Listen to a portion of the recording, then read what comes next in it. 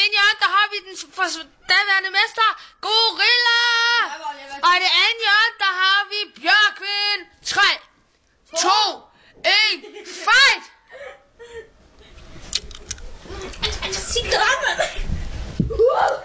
Det er det berømte gorilla-knæ, gorilla-knæ, han er i gang med.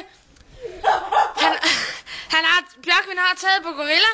Go, gorilla sutter jord. Også meget kendt trick.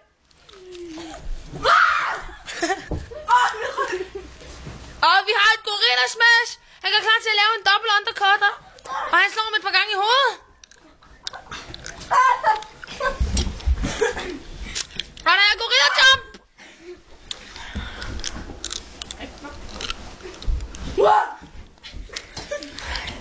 Hvad?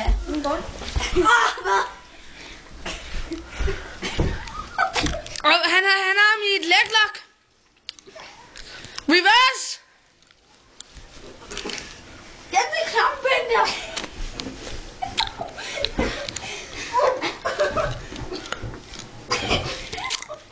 Og det ser ud til, at Bjørkvind er ved at få taget.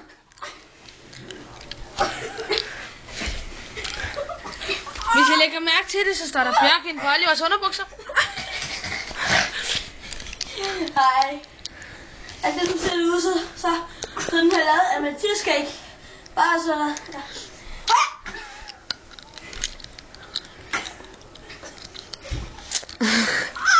Og vi kommer ikke nogen vejen. Og Oliver giver op! Vi har en vinder! Den nye nationale mester! Og her er trofæet. Bjørk! Er sådan her? Bjørkvind! Og så vil jeg lige fortælle, at jeg er kommentator af Emil, og jeg vil lige sige, at ingen af disse stunts, de her, disse stunts, er udført af professionelle mennesker. Og I skal ikke prøve det derhjemme. Han er en taber. Ja, det er også.